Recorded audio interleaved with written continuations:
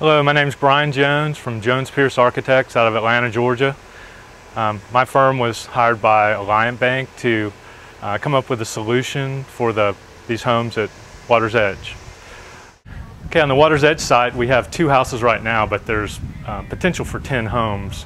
They're all going to be 50-foot um, lots, which is what we had when we started this project, what we were dealing with. So we used a couple of strategies to um, let them feel like houses and not uh, townhomes. So we have two different styles of homes on the Water's Edge side. We used uh, arts and crafts, uh, kind of vernacular, and also uh, more of a southern colonial.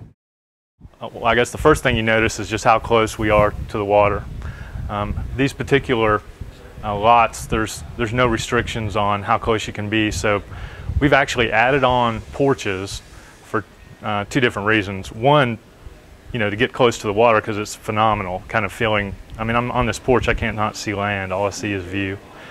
Um, the other thing that we we've done is to add a porch. We're on the main level porch where the kitchen and living room is.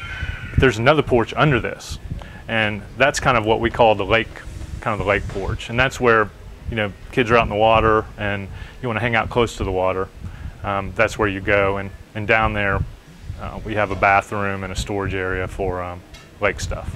And then each house will have this in-between space that, that, that, the other house, the adjacent house, doesn't have access to. like we just see like a little table for you know morning coffee, a place where the grill would go, and it's really close to um, you know where your kitchen is. We do have an outdoor fireplace. Uh, we'll have that on both porches. Uh, kind of the thought that we had, kind of imagining how we'd want to live in these houses if we were in them. One of my personally, this is one of my best spots that I like to uh, watch football, which is you know with a fire and the radio on. It's kind of old school, but it's it's fun being here on the lake. So I'm on the lake porch level right here. This is our our porch where you're close to the lake. A couple of steps down, we get to uh, what we're calling the lake walk, and these homes are. Um, since the, home, the lots are 50 feet wide, uh, we couldn't have individual docks um, for each house. Plus, I don't think I want individual docks. It'd be kind of um, pretty cluttered. It's really nice to look out and not see a bunch of boat stuff. So what we've done, we worked with Alabama Power to um, come up with a, a, solution that will allow each owner to have a, have a slot, place for their boat, and then we're going to organize the boat dock.